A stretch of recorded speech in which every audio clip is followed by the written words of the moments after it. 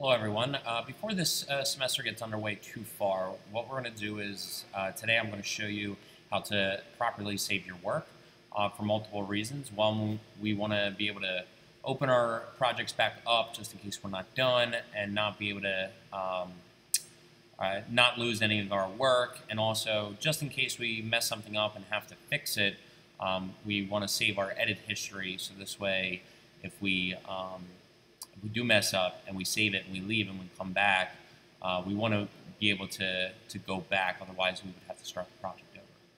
So the first thing you're going to do is you're going to go to File and you're going to make sure that right here is selected, that Save History with Document. What that does is it saves all your edits down in your history bar. So basically everything that I'm doing right here, as you can see, I'm going through this history bar right here. Um, all that stuff will be saved with the file.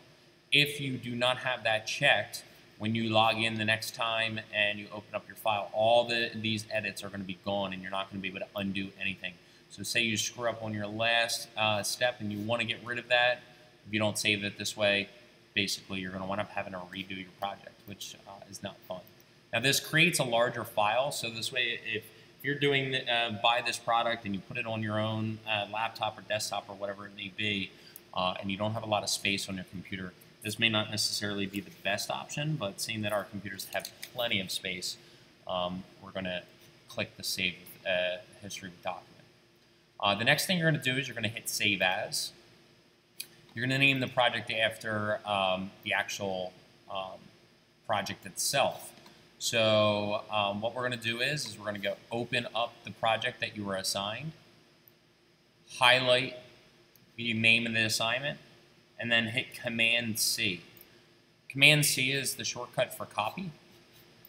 Then you're going to go in and you're going to hit Command V as in Victor to paste that. And then you hit just dash your name. I'm going to literally write your name uh, however you're going to write yours. So if my full name's Adam Anderson, so I would type Adam Anderson. Then I'm going to hit save. The next thing I'm going to do is I'm going to go up to File again, I'm going to hit export. This export file is the important one because this is the one that you're going to turn into me.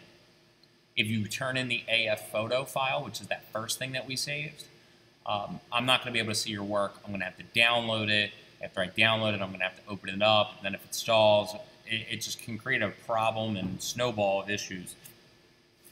And it's a lot less uh, time consuming for you guys just to upload these exports and then I can give you a grade right away. If you do not turn in this JPEG, which is what we're selecting, it's the second option right here, the green one. Uh, if you don't turn this one in, I'm not going to grade your project. I'm going to send it back to you and ask you to resubmit, uh, and then you may ensue any late penalties that uh, may occur.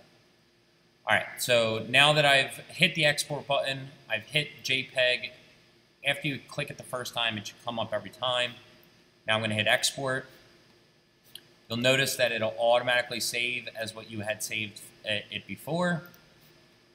Hit save. You now have that JPEG. You then return to the project itself. Um, me, I'm looking at it on the teacher's end, so you would have, uh, obviously yours is going to look a little different. If you have any questions, let me know.